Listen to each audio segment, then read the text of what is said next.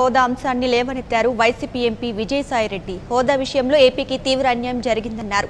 ఏపీపై కేంద్రం సవతి తల్లి ప్రేమ చూపిస్తుందని విమర్శించారు.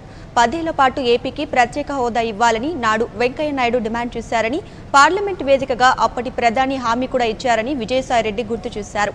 అయినా కేంద్రం మాట తప్పిందన్నారు. ఏపీపై సవతి తల్లి ప్రేమ ఎందుకు చూపిస్తున్నారంటూ కేంద్రాన్ని ప్రశ్నించారు.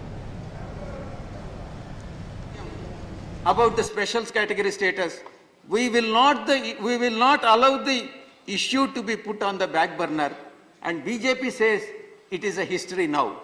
We will not allow it to go to the history and we will fight for that. Special category status is the right of the people of Andhra Pradesh and we shall have it and we will ensure that we will, we will, we will get this uh, special category status, sir. Sir, the next is capital.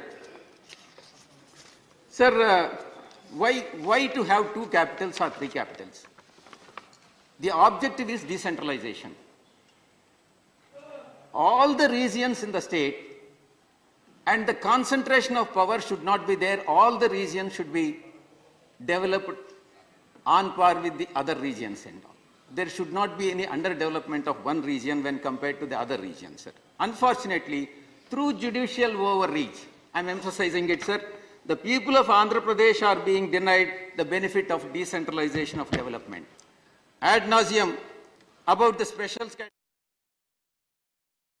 కేంద్రీకరణతోనే అన్ని ప్రాంతాల పురోగతి సాధ్యమని MP Vijayasai Reddy రాజ్యసభలో ప్రస్తావించారు రాజధాని అనేది రాష్ట్రాలకు సంబంధించిన అంశమని రాజధానిగా ఏ ప్రాంతం ఉండాలో ప్రజలు నిర్ణయించుకుంటారని అన్నారు shall have it and